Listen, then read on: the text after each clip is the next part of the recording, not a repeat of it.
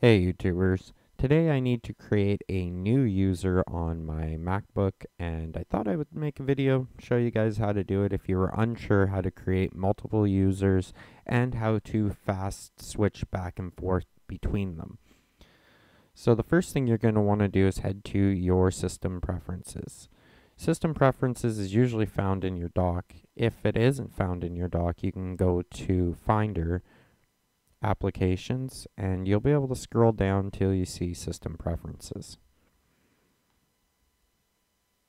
Once in system preferences, you'll head to the users and groups, which is on the last column in the first uh, location there.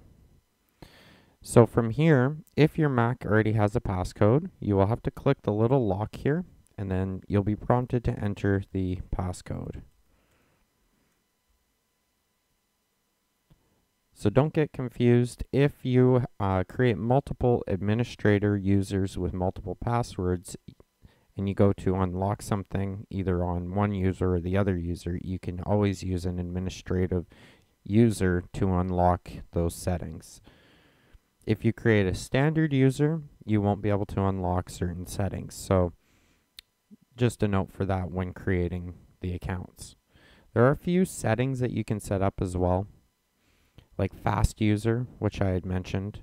And what that does is basically places the name of the user over here.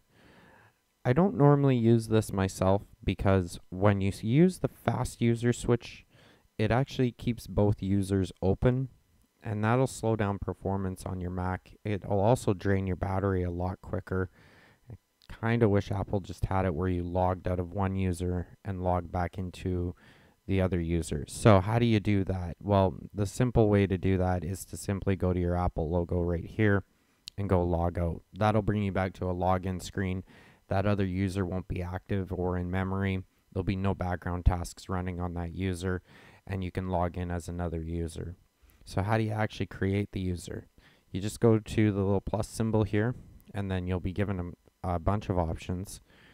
There's standard and administrator and then if you have young children, you can also set up a parental control account, which you can add a lot of um, blocking features for the internet and stuff like that. And then sharing only is more for accessing it over the network and not utilizing the system, not something you probably use. And then groups is getting into uh, larger networks, corporate networks and stuff. So you'll just probably leave that one alone. Uh, what we're looking to do here in my case is I need to create a new administrator user. Administrator users will let me change all of the main settings like we were talking about here before, where a standard user will have limited access to that uh, to minimize any changes that could affect the system negatively deleting things and uh, wrecking your computer. So this one's really good for you know kids and stuff like that, maybe under 12 uh, just to use the system for browsing the internet. Here you create your um, your name, and this is the name that will show up as your Finder or the little house here. So this is your main directory. And make sure if you want it capitalized, which I do, you do that. So here you can actually generate passwords if you want something memorable. Uh, the password assistant is definitely recommended just because it uh, will create some unique passcodes. You should definitely use a strong password for your Mac.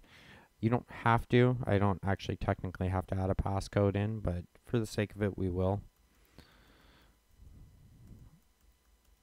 If you're trying to guess, I typed in password.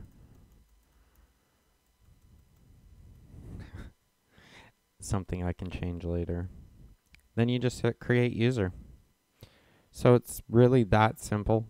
Now you'll be able to switch over to that user and you'll be able to customize it. It'll be a completely separate user from the user you're using right now. And you'll be able to share your computer with keeping your personal data and all that kind of stuff separate. So hopefully this helped out some of you. I know that it's a more simple tutorial and not something as um, I usually do, but I wanted to do that because I had to create it anyway. So thank you for watching. Make sure you like this video and stick around to the channel for more. If you have any requests for any videos, please place them in the comment section below. Make sure you also check out my new website, which makes browsing my videos a lot easier than YouTube's platform. We'll see you guys again next time. Cheers.